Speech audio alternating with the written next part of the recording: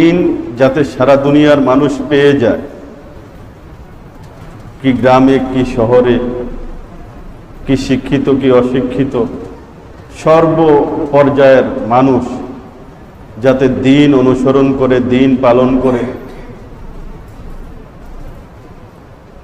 এবং এক আল্লাতে বিশ্বাসী হয়ে যায়। এক কথায় সফলতার পথে যাতে প্রত্যেকটা মানুষ উঠতে পারে, সেই লক্ষ্য নিয়ে আল্লাহ পাক, রসুল পাক সাল্লাহ আলহি এই কোরআন, কোরআনে করিম দিয়ে এই ইসলামের ধর্মগ্রন্থ, দিনের ধর্মগ্রন্থ, কালামে মাজিদ দিয়ে আল্লাহ পাক দুনিয়াতে পাঠিয়েছেন এবং এই আদেশ দিয়েছেন যে আপনি যে করে হোক এই ইসলামের বাণী, এই দিন, এই গোটা কোরআনকে, এই কোরআনের শিক্ষাকে আপনি প্রত্যেকটা মানুষের কাছে পৌঁছে দেন। যত কষ্টই হোক, তো রসুল পাক সাল আলহি আসাল্লাম দুনিয়াতে এসে যখন এই দায়িত্ব পালন করছিলেন, শুরু করছেন, তো এই শুরুটা ছিল অত্যন্ত কঠিন। রসুল পাক সাল আলহি আসাল্লাম মক্কাই এই কাজ শুরু করেছেন। এই কাজ শুরু করার আগে এই দিনকে মানুষ, মানুষের কাছে পৌঁছানোর জন্য যে মেহনত, যে লক্ষ্য, এই লক্ষ্যে কাজ করার আগে কিন্তু রসুল পাক সাল আলহি আসাল্লাম মক্কার মানুষের কাছে তার জন্মস্থানে,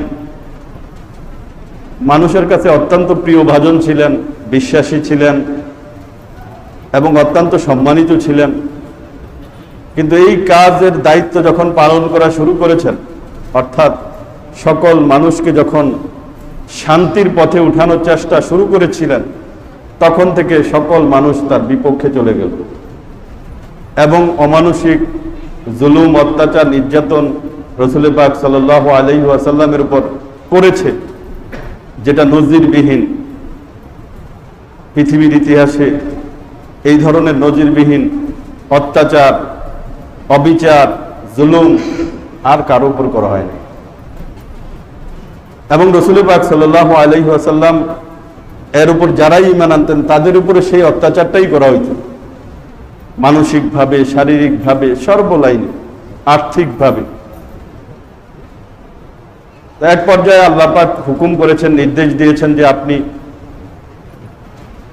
ইসলামকে প্রচারের লক্ষ্যে, ইসলামকে হেফাজতের লক্ষ্যে আপনি আপনার শহর ছেড়ে মদিনায় হিজরত করেন, মদিনায় চলে যান।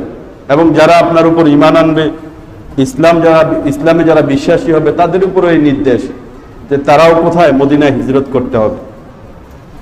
তখন নিয়মে ছিল এটা, যে ইমান আনবে, হিজরত না করলে তার ইমান পরিপূর্ণ হয়, হইতো না। ইমান গ্রহণযোগ্য হওয়ার জন্য ইমান পরিপূর্ণ হওয়ার জন্য হিজরত শর্ত ছিল তখন। আর এই শর্তটা মক্কা বিজয় পর্যন্ত বলবৎ ছিল। মক্কা বিজয়ের পরে আবার এই হুকুম আল্লাহ পাক রহিত করে দিয়েছেন। যে যেখানে থাকে সেখানে থেকেই ধর্মকর্ম পালন করতে পারে তো মক্কা বিজয়ের আগ পর্যন্ত যেই ইসলাম ধর্ম গ্রহণ করত, তার জন্য তার উপরে এই বিধান ছিল, তার ইমান গ্রহণযোগ্য হওয়ার জন্য, তার ইমান কবুল হওয়ার জন্য, তার ইমান পরিপূর্ণ হওয়ার জন্য এই নির্দেশ ছিল যে সে যেন মদিনায় রসুল পাক সাল্লাহ আলাইসাল্লামের কাছে হিজরত করে চলে যায়।